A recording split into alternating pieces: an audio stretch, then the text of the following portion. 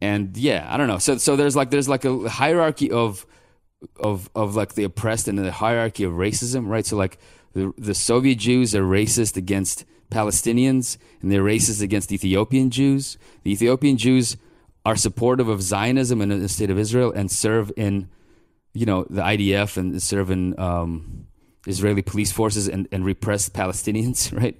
Then you know then you have like the Ashkenazi and sort of the older generation of of European Jews who are racist against uh, Sephardic Jews, you know, kind of Jews from from from from like North African Jews, right? And are racist against uh, or bigoted against uh, Soviet Jews and bigoted against Ethiopian Jews. So there's like a whole hierarchy of racism within Judaism in Israel, um, which is fucking weird. I don't know. Yeah. It's it's it's a it's a totally it, it's interesting in in in a, in a sense because it's it also explodes the idea that you know Jews are like one people and one in one you know they must help each other all the time and that we are you know our all I our um, sort of interests are all aligned.